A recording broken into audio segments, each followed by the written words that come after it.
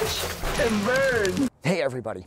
So tonight I want to discuss uh, Marcus Nispel's 2003 remake of uh, Tobe Hooper's 1974 horror classic, The Texas Chainsaw Massacre.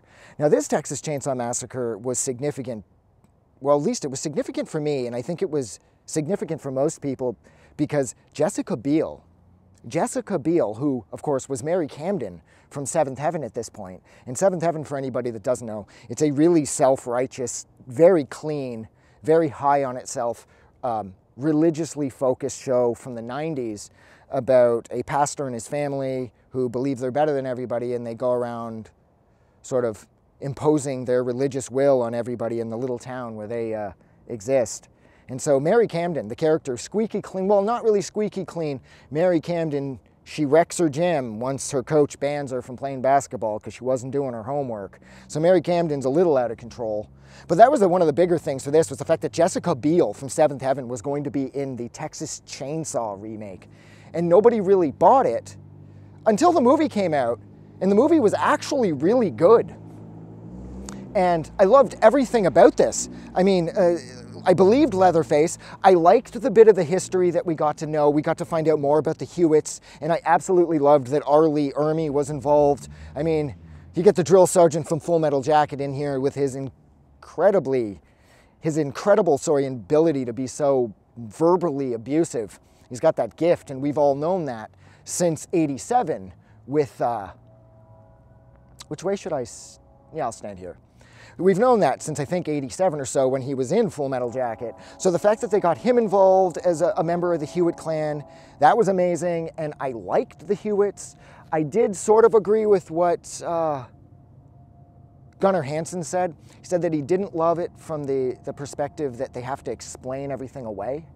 These remakes have a tendency to sort of overdo the history of the family and things like that. And they do attempt to shoehorn a, a, backstory in, whereas it's not really necessary. So I could understand where Gunnar Hansen was coming from, but I did like what Nispel and company did with the Hewitts. I believed it. And the new house, the house that they found, apparently the house was just legitimately sitting there abandoned wherever they were filming this in Texas.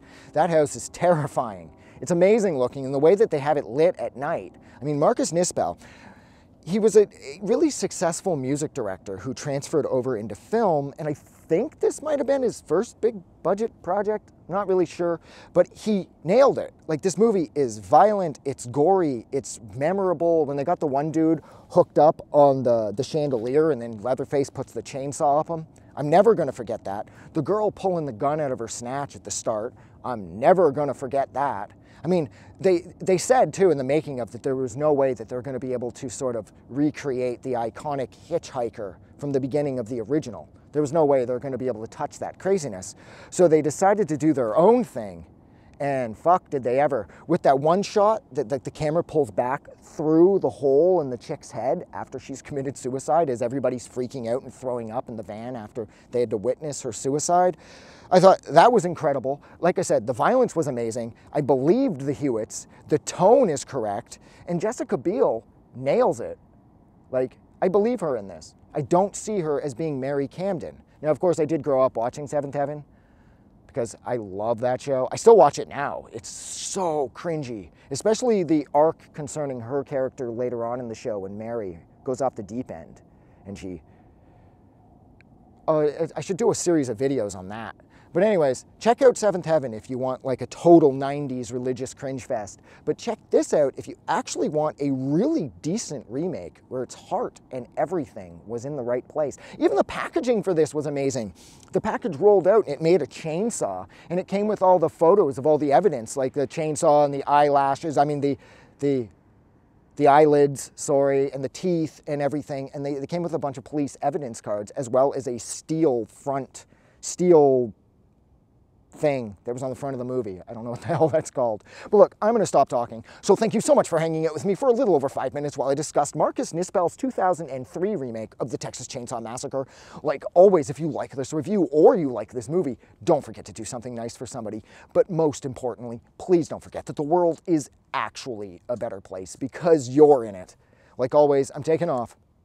Have a good night.